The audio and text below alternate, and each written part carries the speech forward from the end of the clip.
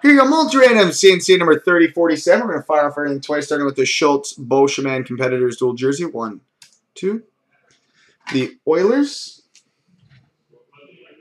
Now for the Keith Sedin dual jersey. One, two. Canucks. Now for the Matteau Bennett. One, two. Devils. Now for the MacKinnon Jones. One, two. Avalanche. And now for the Staal Panic Dual Prime. One, two. Hurricanes. So there we go, boys and girls, children of all ages.